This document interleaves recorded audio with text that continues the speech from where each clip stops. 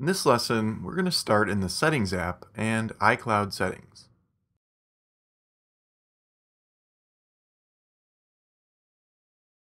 On both my iPad and iPhone, iCloud Drive is activated. So in the Files app, when I tap the Edit button in the Browse column, iCloud Drive is available to be turned on as a location.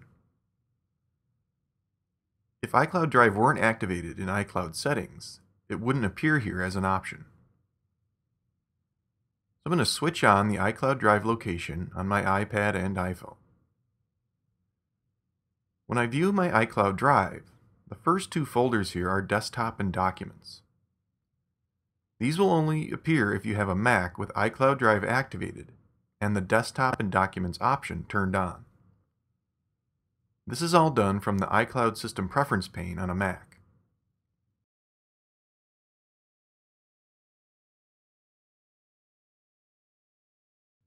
Notice in my Finder sidebar, the Desktop and Documents folders are listed under iCloud. So all the files and folders within these appear on all my devices with iCloud Drive activated. If you don't have a Mac, or don't have this activated on your Mac, that's okay. These two folders just won't be available in iCloud Drive. If you do have a Mac, utilizing the Desktop and Documents option in iCloud Drive is pretty great.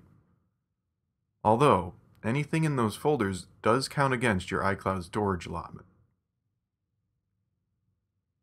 Notice that the files and folders in iCloud Drive here on my Mac are the same as they are on my iPad and iPhone.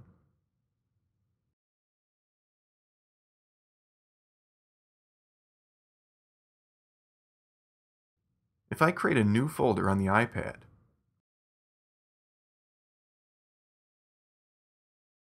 after a few moments it's also going to be available in files on my iPhone and here in the Finder on my Mac.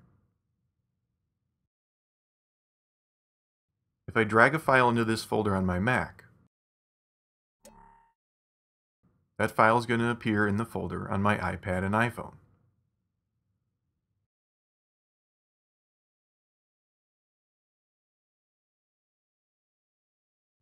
So if you have multiple devices, whether they're iPads, iPhones, or Macs, utilizing iCloud Drive and the Files app can provide quick access to many, if not all, of your files.